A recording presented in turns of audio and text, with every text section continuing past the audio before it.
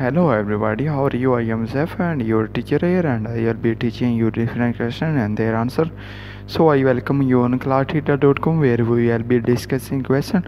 So let's get on the question. So our today's question is simplify 2 over square root 5.